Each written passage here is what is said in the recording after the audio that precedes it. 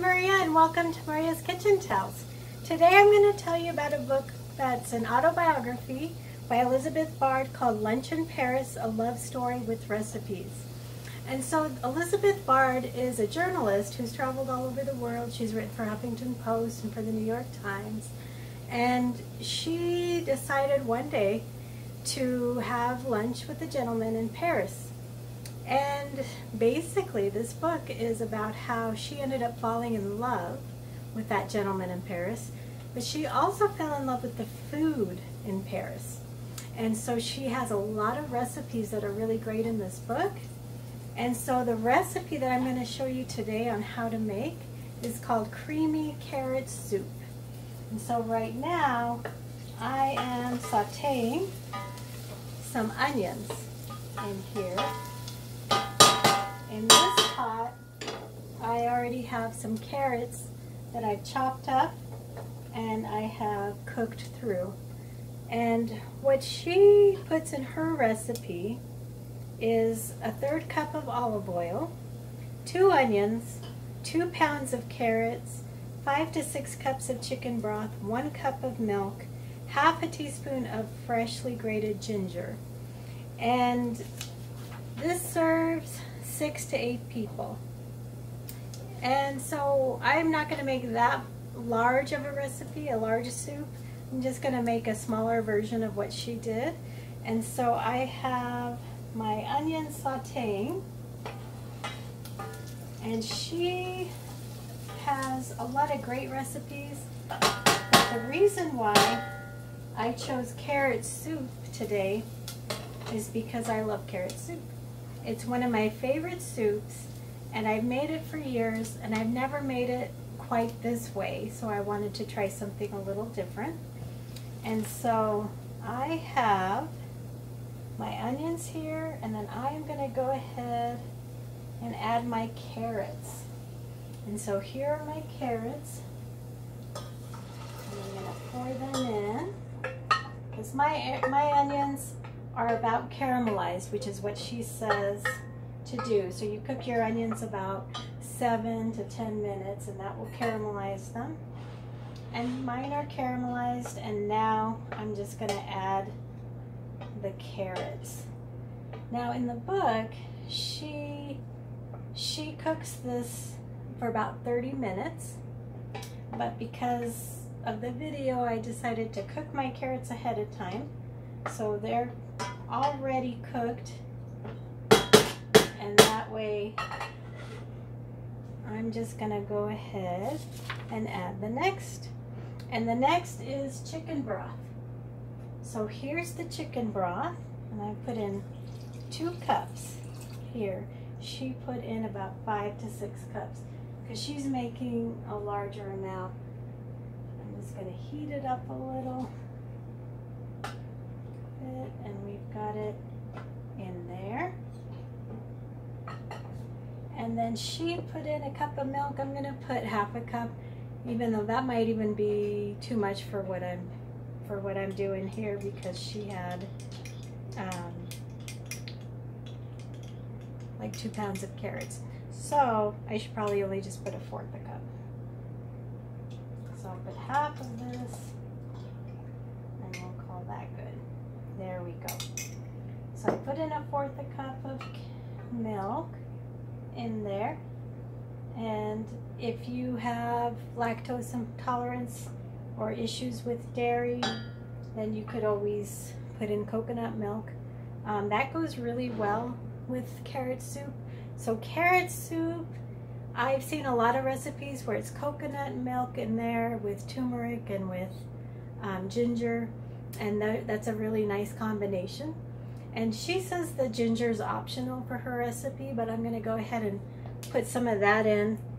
But I do want to show you, I bought some ginger, and ginger is kind of like a funny little um, thing, food, because it's kind of really, like it looks difficult, but it's not. So if you get a serrated spoon, and this is what I have here, it's got little knives right here, and you can actually easily just peel your ginger with the spoon and it's actually really easy smells wonderful. And that's the way you, you peel your ginger because it's a little kind of funky little shape to it. And so if you have that spoon, it really helps with that. So I've got my soup going and I'm gonna, I added my milk, I added my broth, I'm gonna go ahead and put my ginger. So I just chopped it up. She said you can just grate your ginger and I just chopped it up. And what I'm going to do next is put in a little pureer.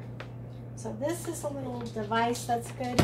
If you don't have one of these, it's like a little blender in your hand blender. If you don't have one of these, you can just, um, ahead of time, you can actually, if you cook your carrots separately, you can throw them in the, in the blender and then just blend those carrots up and then pour it in. But I'm gonna go ahead and use my little hand blender.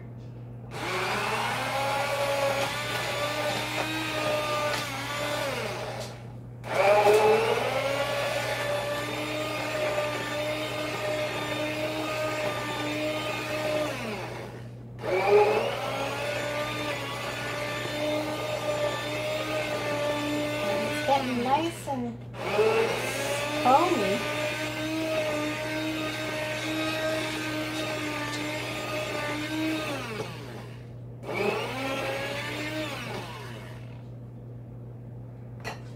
So there, I'm gonna check it. And I still need to blend it a little more.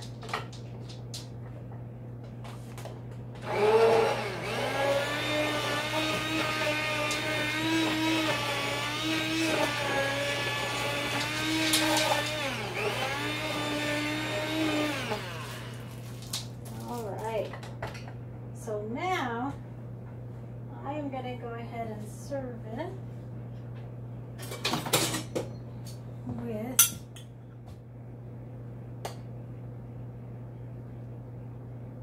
and you know what?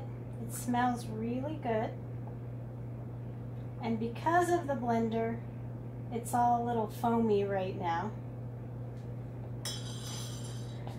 And I'm going to go ahead and see if you can see that. It's a little foamy. And it's still foamy.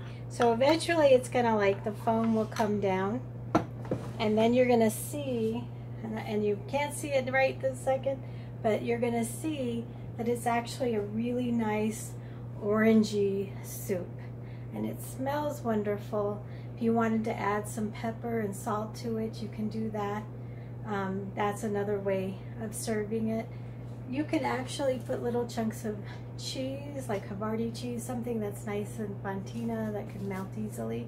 You can put chunks of that. That's how my mom would do it. She would make a cream soup all the time and she would put little pieces of cheese in there. In the book, what Elizabeth says is she serves the soup with camembert and it's baked in its own wooden box for 400 degrees for 20 minutes and she says that's the kind of cheese that she would use to serve with it. I looked and see if I could find it. I couldn't find it. And so um, no cheese with the soup. But cheese and, and cream soup is kind of like the perfect combination. And so um, if you've never tried it, give it a shot. And then of course some nice bread that is really um, warm and kind of toasty. And that's perfect for it like some nice French bread. So here I don't know if you can see that. That is nice and bright and brightly orange. And it is really kind of a when I cook it a little longer it'll thicken up a little more and it's just kind of a nice soup um, you can serve with your sandwiches or just have it with your bread and cheese so I hope you enjoy the recipe.